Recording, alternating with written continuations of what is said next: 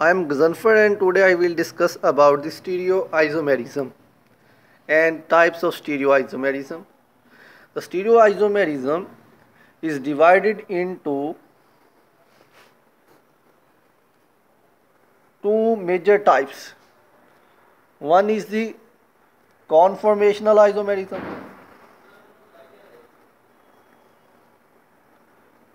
and there is the configurational isomerism. The configurational isom conformational isomerism is also known as rotamers.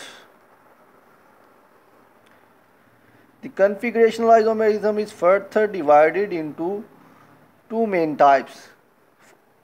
First is the optical isomerism and second is the geometric isomerism.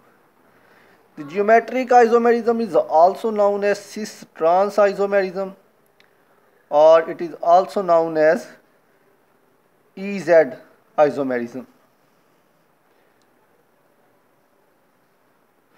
The optical isomerism is further divided into two types. First is the enantiomers, enantiomers and other is the diastereomers. The enantiomers are also known as DL pairs or it is also known as plus minus pair. Now I, I, shortly explain all these terms. First of all we see what is stereoisomerism. Compounds having same molecular formula, same structure formula, same order of connectivity of atoms and same bond sequence but they are differ with respect to the 3D orientation or spatial arrangement of atoms or bonds in space. Such type of isomerism is called stereoisomerism.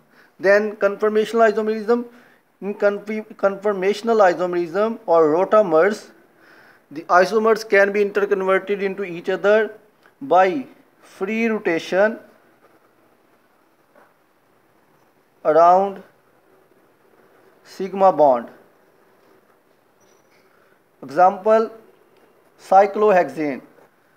When I flip cyclohexane, it is converted into half chair conformation. By flipping the molecule, I again flip this molecule, then it is converted into boat-like conformation.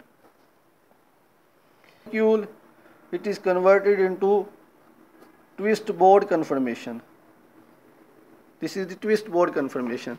I again flip this molecule, then it is converted into chair-like conformation.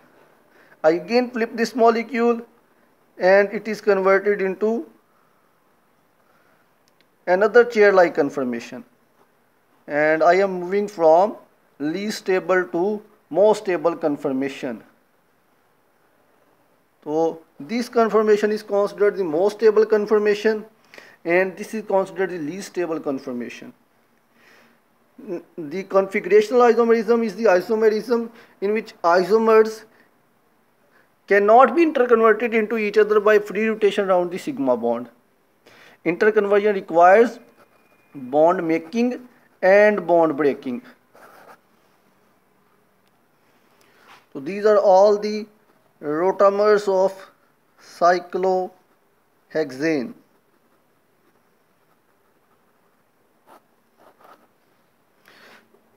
geometric isomerism compounds having same molecular formula same structure formula same order of connectivity of atoms but they are differ with respect to the 3d orientation of atom and bonds in space due to the restricted rotation of double bond restricted rotation of double bond such isomer is called cis-trans isomer, EZ isomer or geometric isomer. A good example is malic acid and fumaric acid. The same functional groups lie on same side of the double bond So malic acid is cis confirm cis isomer and is malic acid. When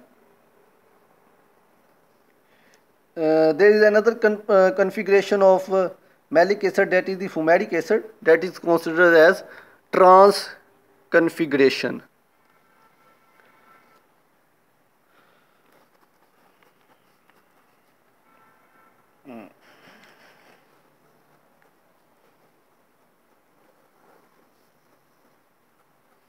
This is the E isomer. It is also known as fumaric acid.